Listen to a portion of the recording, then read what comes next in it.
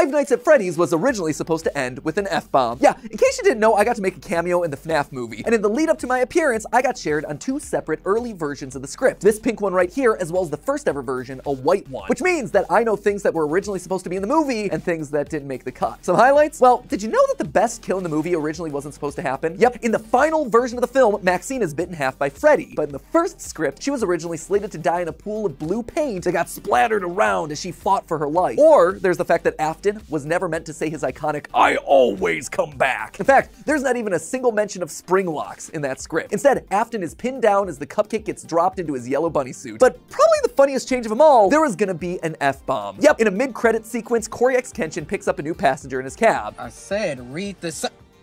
That all stayed the same, but Cory's reaction did not. As originally scripted, this is how it went. Balloon Boy's grinning face fills the screen. Horror and incomprehension from the cabbie. Hysterical shriek, what the f